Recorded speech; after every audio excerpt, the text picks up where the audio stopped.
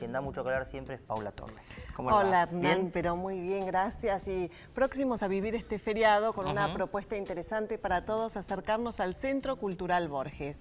Hay una iniciativa de la Fundación Dr. Enrique Rossi, una muestra a hacer visible lo invisible. ¿Y de qué se trata? Placas radiográficas intervenidas. Pero para hablar de todo esto nos visita Eugenia Rossi. Bienvenida para y felicitarlos por la iniciativa, ¿no? Esto de que han invitado a tantos artistas para intervenir esas placas radiográficas y que nos cuente la historia que va a ir desapareciendo. Bueno, eh, buenos días. Buen día. Bueno, yo soy Eugenia Cerdade Rossi, soy la presidenta del Centro de Diagnóstico Enrique Rossi y la Fundación Rossi.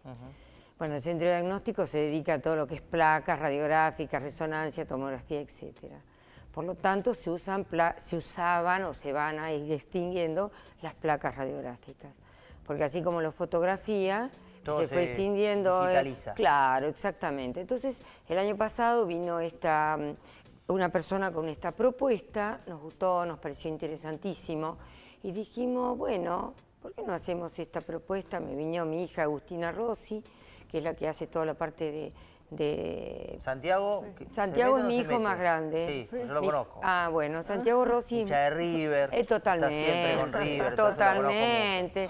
Santiago... Un fanático total. Fanático total, puso a sus dos hijos el nombre de Santiago Enzo y de Matías Jesús. Así que con eso te puedo decir lo que, que Ah, los hijos. sí, los dos hijos. bueno, Santiago es el director médico del Centro Rossi. Exacto. Y bueno, te digo, mi otra hija es Agustina, porque esta es una empresa familiar. Y entonces ella viene con esta idea. Y cuando esta idea me gustó. Y entonces se convocaron a 20 artistas de primer nivel y ellos, esos 20 artistas, hicieron obras durante todo un año. Sí. Es decir, utilizaron... Hablando, estamos viendo en pantalla ahí compartida un montón de obras que están de las que se han Total. Son increíbles. Sí, la verdad es se usaron placas, se usaron chasis, se usaron cajas este, donde vienen las placas y han hecho unas obras, la verdad que han llamado la atención, no solamente a nosotros que quedamos impactadas, sino también a los que los han ido a, visitar. claro. Fueron subastadas, la subasta se hizo el día, la semana pasada, este, bueno, y esa subasta, todo lo que se, este, fue recaudado, va a la ONG Cuidar, que es una ONG que se dedica a los chicos con eh, diabetes infantil, diabetes eh, tipo 1, insulino dependientes. Que casi siempre es a niños y adolescentes, puede ser un poquito más, pero no es a la persona mayor, sino es al niño adolescente que ataca. Y son insulino dependientes, es decir, depende de su insulina cuatro o cinco veces por día para poder vivir.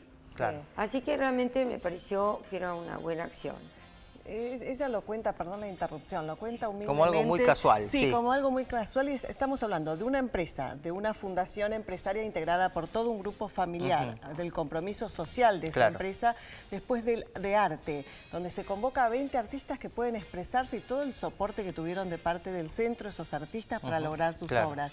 y después, como si esto Subastándolo. y además la, la entrada libre y gratis para poder ir a ver hasta el domingo en el Centro Cultural Borges, acercarte. Mañana es un gran día, mañana es feriado. Sí. Se, puede ir a ver toda la obra. Y además que si te, llevas el libro o unos señaladores también como placas radiográficas de 10 pesos, seguís ayudando a la Asociación Cuidar, que esta es la asociación que hacía referencia Eugenia de Chiquitos con Diabetes. Es un círculo cerrado perfecto.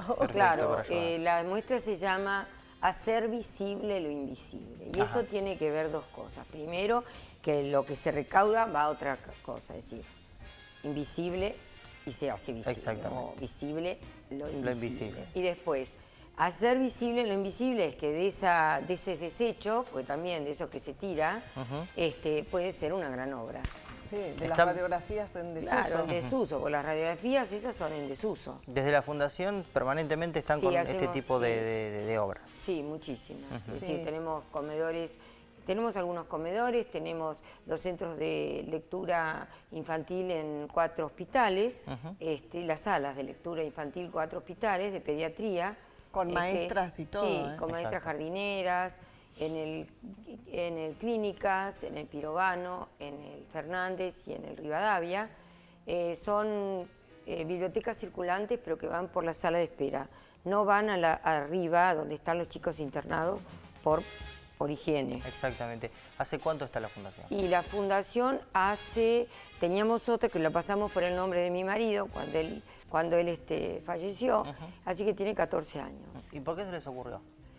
Y porque siempre hemos dado. Esa fundación, por ejemplo, da seis, ocho becas por año a chicos que quieren estudiar también eh, universidad. De esas vienen de Gualeguaychú, Entre Ríos, porque mi marido era de Gualeguaychú. Entonces ahí, se trató armarlo.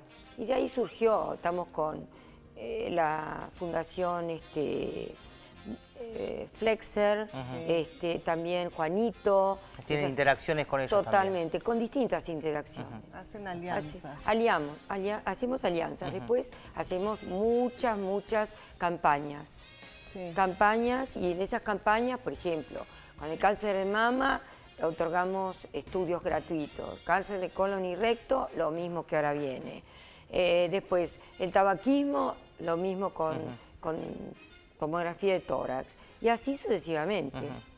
es, decir, una, se va armando y después, por ejemplo, muchas charlas y también, por ejemplo, este, lo que se llama arteterapia.